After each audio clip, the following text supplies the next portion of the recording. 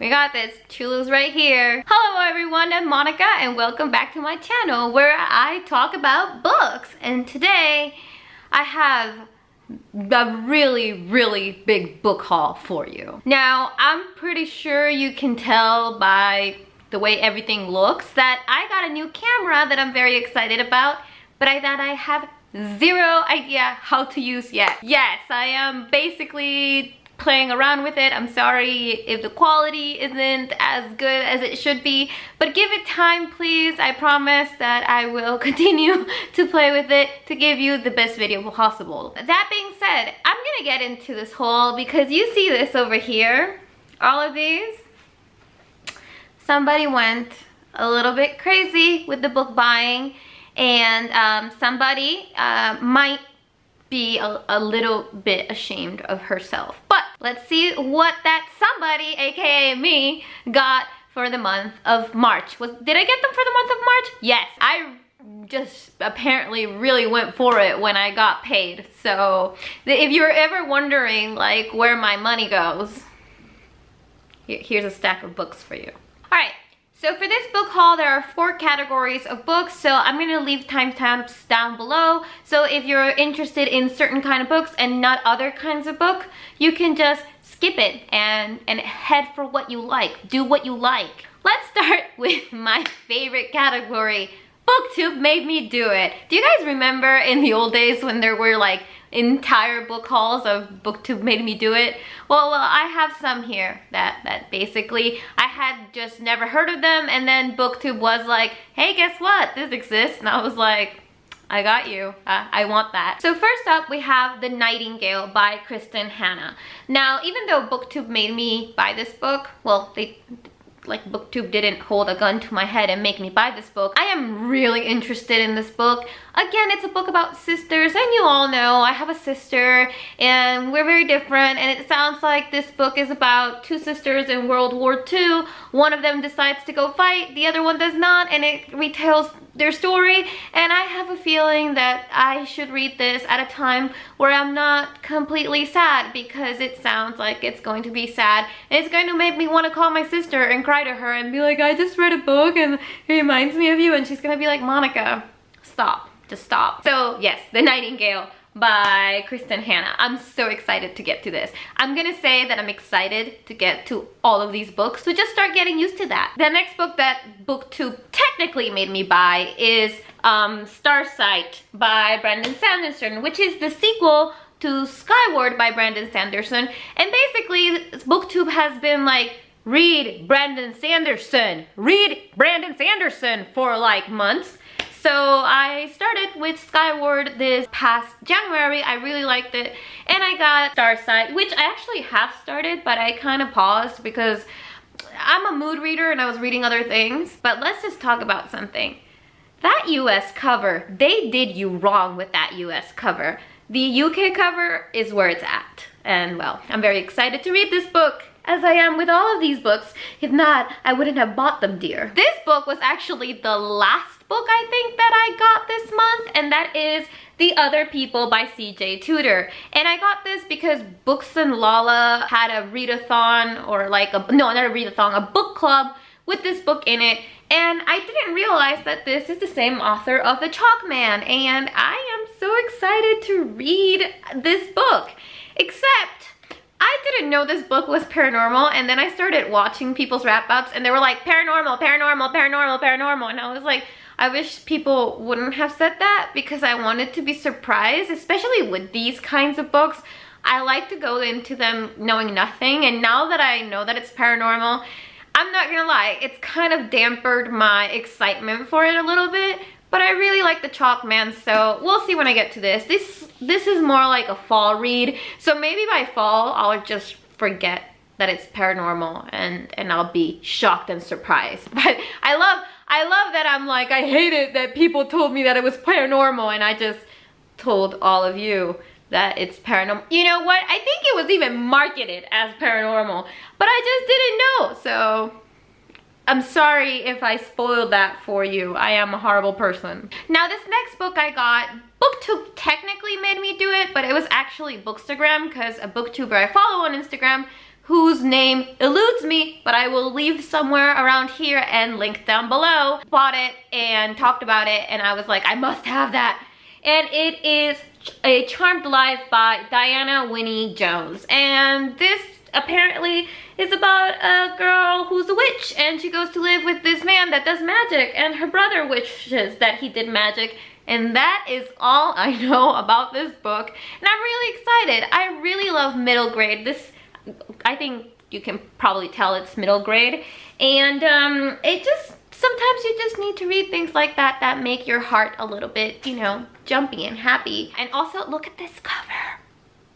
Look at it, how beautiful it is.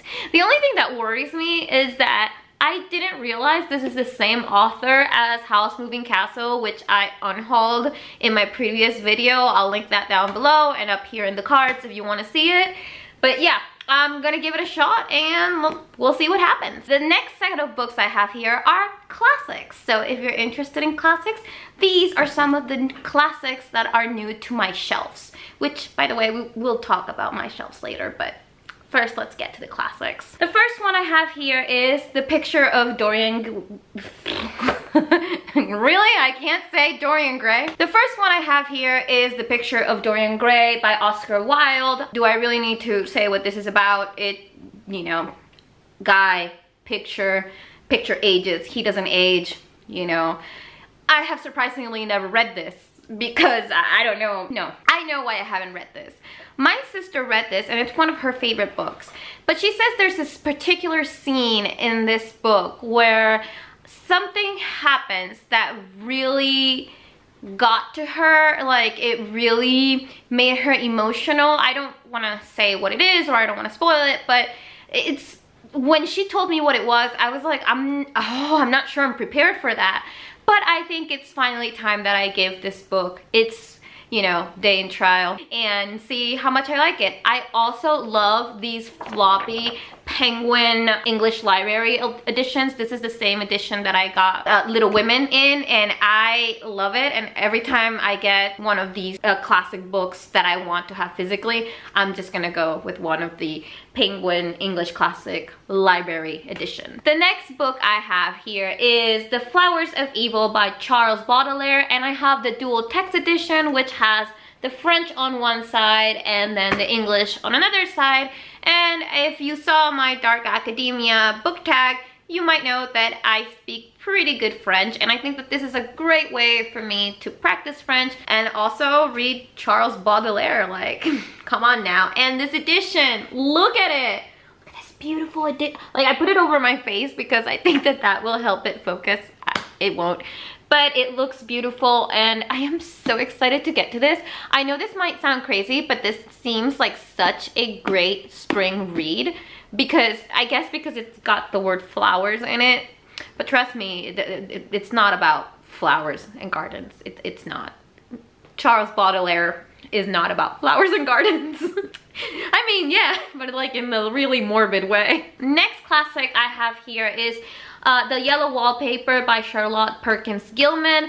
Uh, this is the story about a woman who gets basically like locked up in a room and there's yellow wallpaper and it sounds amazing and it's ye long. So this is actually great for those days where I'm like I can't read a book so I'll just read this and it really does sound super interesting so that's the next classic that I got. Another um, author that I have never read, which is surprising because like these seem like authors that I should have read. Like for example, Oscar Wilde. Well, I have read other Oscar Wilde, but I haven't read The Picture of Dorian Gray. But you know, um, Sylvia Plath. I got Ariel by Sylvia Plath and this is a collection of poems, obviously. And I'm not gonna lie to you, the cover got me. I saw, I was like, I, I need to read some Sylvia Plath and I was looking around because what I do is I look for like the cheapest books possible of an author that I really want to read. And I saw this for three euros in Amazon and I was like, mine, mine. So I have no idea what this is about, but this is another really short book great for readathons and great for reading poetry because I love reading poetry in the spring. Look, we need to talk. We need to talk because can you freaking like are you even looking at this? it's so beautiful. Like, wow. yes, that's how excited I get about book covers. This is why I have no social life. But anyway, this is Dante's Inferno by Dante. I have also never read Dante's Inferno. And again, something that I'm very excited to read. And when books look like this, they don't they just make you want to read them more? And I know you can't feel it, but it's embossed and this is penguin something penguin literature edition. And um hello it was five euros. Again i buy these the cheapest possible. In fact that's my motto for buying books. I will buy the cheapest available one whether that be kindle whether that be hardback whether that be paperback. I don't care. I'll buy the cheapest one. And finally for the classic section we have a book that i have read many times but a translation that I haven't read and that I am super excited about. Here we have the Iliad, obviously by Homer, but this was translated by a woman. Her name is Caroline Alexander.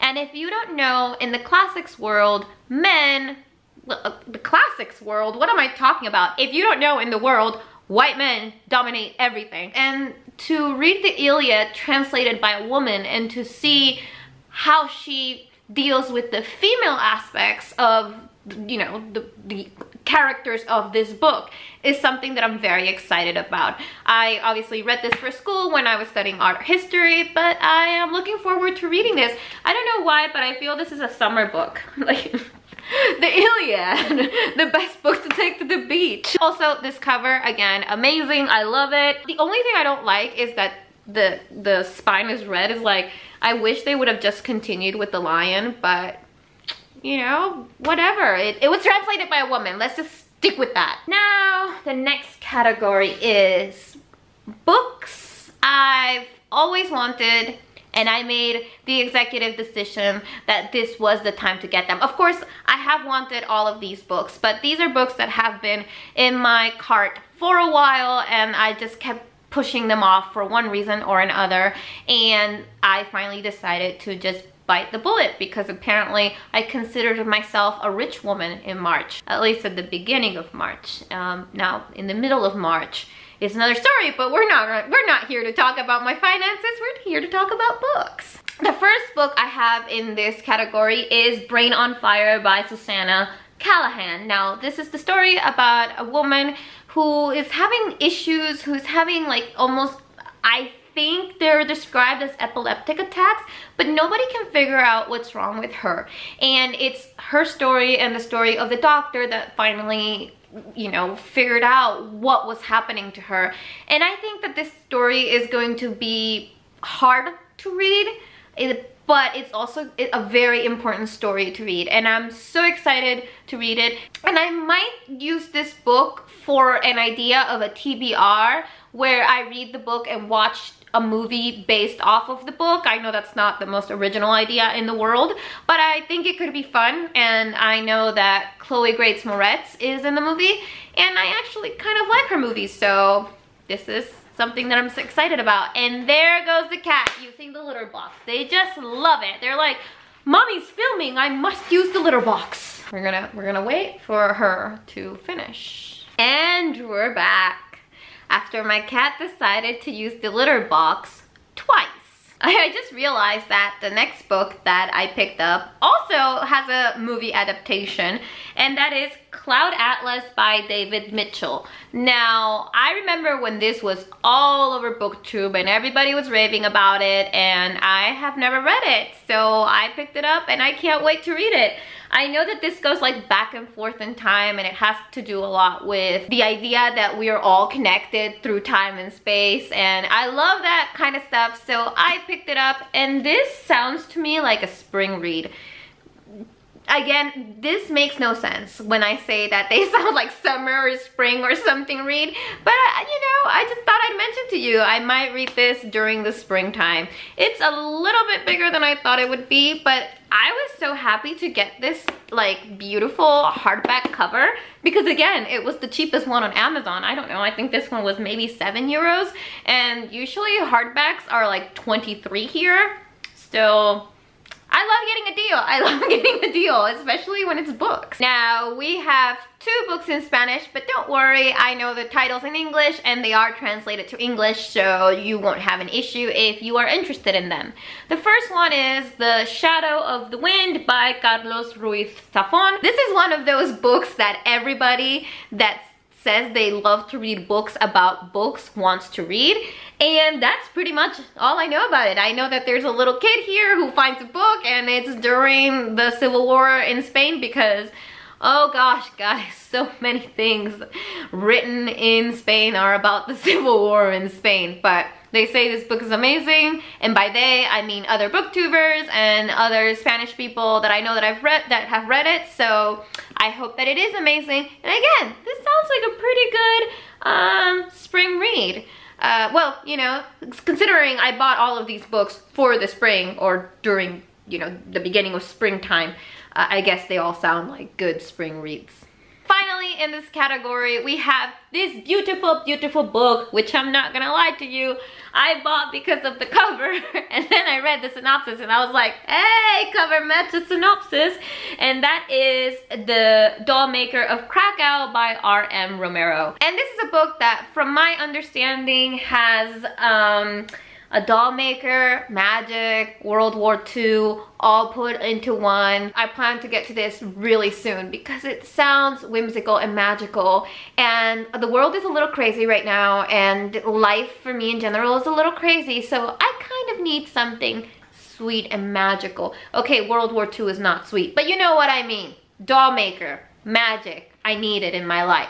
And the final category of books I have are actually books that I've already read, but that maybe I read in audiobook or maybe I read in Kindle form or maybe I lost when I moved from Venezuela to Spain. So I just really wanted to have them in my very small limited library and I want to share them with you. Oh, and there is one book here where it's not that I don't have this book. It's actually that I wanted another format of this book. Let me explain to you. The first book I have here is The Search for Wondla by Tony Di Terlizzi. And if you follow me on Twitter, which I'll leave down here in case you want to follow me, you know that I've been talking nonstop about this. This is my all-time cozy, homey, I need a hug read. And I do have the this book, which is the first in the trilogy, but I have it in hardback edition. And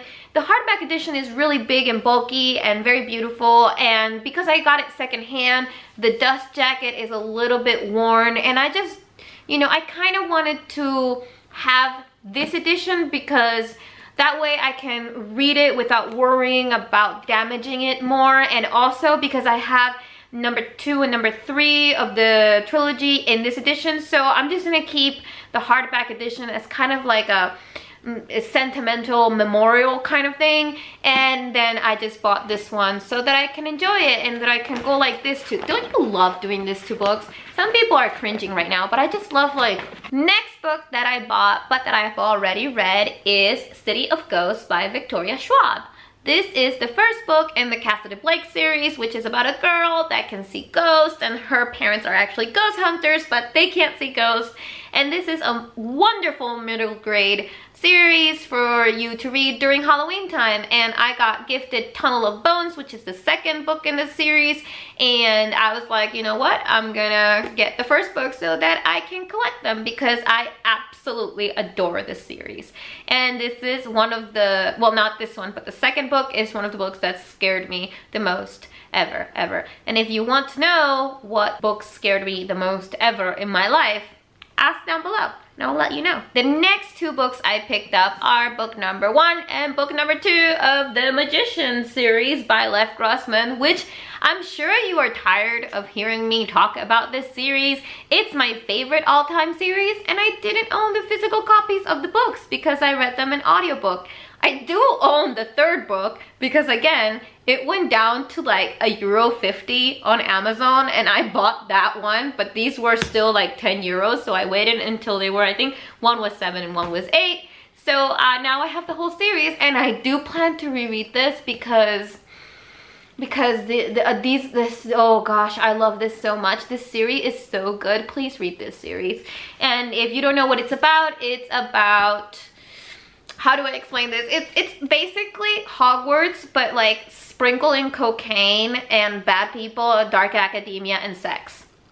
And and that is the best description i can give you about this series we're almost done, I promise. The next book I picked up is Among the Free by Margaret Peterson Haddix. This is another one of my favorite series and um, this is a this is the final book in the series actually and I lost it when I moved from Venezuela to Spain if you want to know what this series is about, I'm actually going to um, unprivate some old videos and I do a review of this entire series in those videos. So I'll link it down below or up in the cards.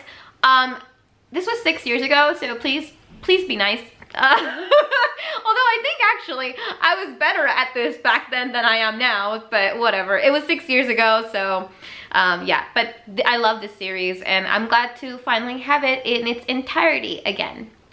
And also, if you saw my unhaul, you saw that I also picked up the first book in the series only to find out that I didn't actually lose it from my trip and now I have two copies and again I'm giving one away free for anyone that wants it that wants to read the series and has doesn't have the opportunity to any other way. Child, I'm out of breath, but finally, the final book I bought in March is The Stone Gods by Jeanette Winterson, which I'm not sure you're gonna be able to see. Let's see if the camera can pick it up. This is an amazing science fiction book that actually reminds me a lot of Cloud Atlas, where we're following two characters and how their paths meet through space and time and I can't even go into it blind because I went into it blind and that was possibly the best thing I could do. When I say sci-fi, I think people get a little bit scared that it's gonna be spaceships and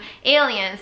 This book is about humans and humanity and about ambition and about love and I absolutely adore it and I'm so glad to have it again because I've been wanting to buy this book in this edition since I moved here because it got water damaged when I moved and it was like the saddest thing in the world. So um, if you are think if you look at all of the books that I bought and you're thinking to yourself, uh, which one of these should I buy?